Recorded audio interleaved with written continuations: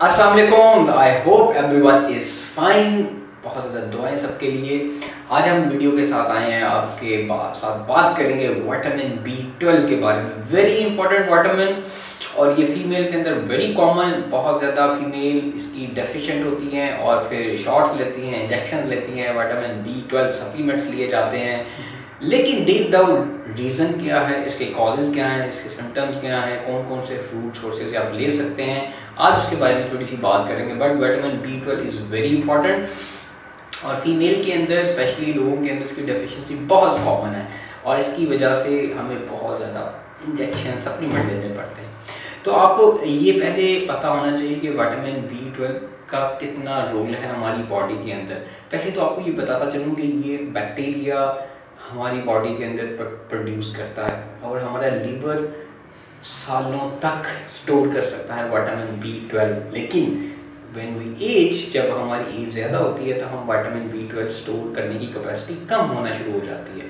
ہم اس کو لیس ایبزارب کرتے ہیں وین وی ایج تو جب آپ بوڑھے ہو رہے ہوں ایج زیادہ ہو رہی ہو تو اس کا مطلب مطلب نہیں کہ آپ نہیں کر سکتے but store down so bacteria produce کرتا ہے اور وہ بیکٹیریا جو اینیمل پروڈکٹ سے ملتا ہے یس اب یہاں پہ ایک چیز بڑی کامن ایک میتھ آتا ہے کہ پلانٹ ایٹر جو ہوتے ہیں یا ویجیٹیرینز ہوتے ہیں جو جن لوگوں کو اپنی ڈائٹ کے اندر، کیونکہ ہمارے یہاں پاکستان میں بھی باہر سب کانٹیننٹ کے اندر ڈفرینٹ میٹ جو فیمیل ہیں، ان کو میٹ وہ زیادہ نہیں کھاتی they don't like it Pakistan میں ہوئی میٹ ایٹرس بٹ وہ لوگ جو پلانٹ ایٹرز ہوتے ہیں ویجیٹیرینز ہوتے ہیں، ان کو ویگنز بولتے ہیں، اگر وہ نہیں کھاتے، ان میں اس کی ریشو زیادہ ہوتی ہے کمپیریٹیولی جو لوگ میٹ ایٹرز ہوتے ہیں۔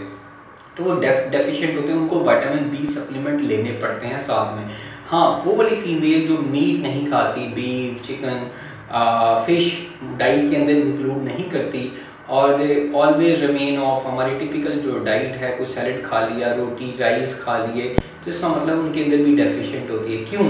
اس کی سب سے بڑی ریزن ہوتی ہے کہ پرابلمس ہماری باڈی اس کے سمٹمس کیا ہاں سوری اس کے سمٹمس انوالو ہوتے ہیں نیورولوجیکل پرابلمس مینٹلی ڈسٹرب ہوتے ہیں میمری لاس ڈیمنشیا آپ کو بھولنا شروع ہو جاتے ہو، آپ کو میمری پور میمری کے ایشوز آتے ہیں اور آپ کو کافی کافی میرے پاس کلائنٹس آتی ہیں they have so many issues sir ہم یہ چیزیں بھول جاتے ہیں۔ کیونکہ وہ اپنی ڈائٹ کے اندر وائٹامن بی ٹویلو نہیں لے رہے ہوتے، ان کو وہ فوڈ سورسز سے نہیں لے رہے لے رہے ہوتے۔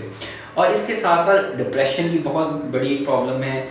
اسٹریس ڈپریشن فٹیگ آپ کی سلیپ پرابلم کرتی ہے انیمیا کی ایک بہت بڑی پرابلم ہے فیمیل کے اندر۔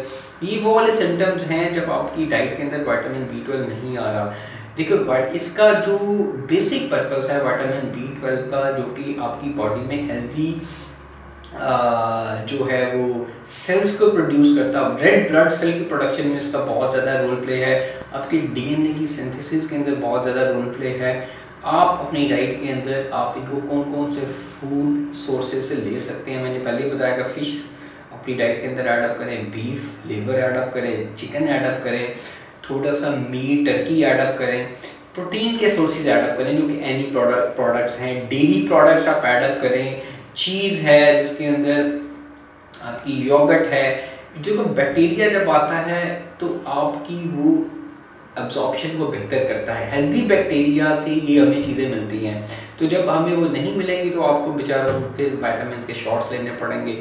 تو there is no need to take those vitamin shots B vitamin twelve اگر آپ اپنی ڈائٹ کے اندر یہ چیزیں مینٹین کر رہے ہیں.